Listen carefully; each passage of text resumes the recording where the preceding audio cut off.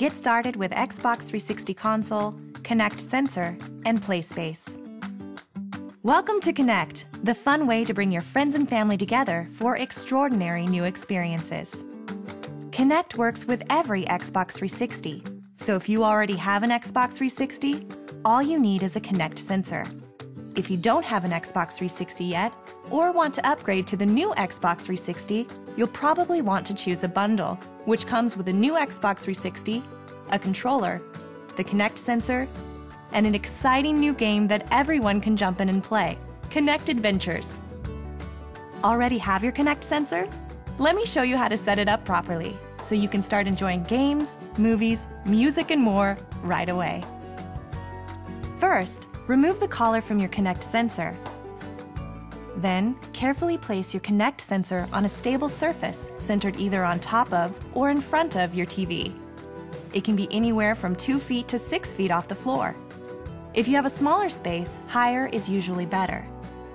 With Kinect, you use your whole body to play, so be sure your Kinect sensor is close to the front edge of the surface it sits on. That way it can see all of you. For the best experience, make sure to keep it out of very direct sunlight.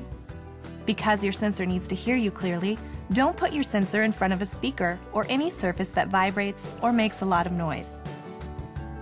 Now it's time to plug everything in. First, make sure your Xbox 360 is plugged into the power outlet. Next, I'll show you what the connections look like for each type of Xbox 360, since they're each a little different. If you just purchased your new Xbox 360 and your Kinect sensor as a bundle, then you'll need to set up your Xbox 360 as well. Connect the composite AV cable to your Xbox and TV. If you're using an HDMI cable instead of a composite cable, Plug one end into your TV and the other into your Xbox. Then plug your Kinect sensor into the specially shaped port on the back of your Xbox 360.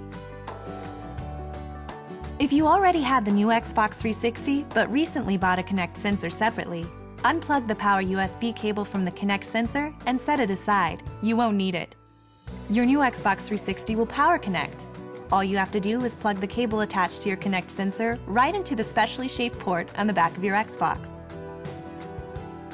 If you have the original Xbox 360, you'll want to disconnect the wireless networking adapter if you have one. Next, connect the wireless networking adapter cable to the Wi-Fi extension cable that came with your Kinect sensor. Plug the other end of the extension cable into the USB port on the front of your Xbox. Then, plug your Kinect sensor's power USB cable into the USB port on the back of your Xbox console and into the power outlet. Now you're ready to turn on your Xbox 360 console.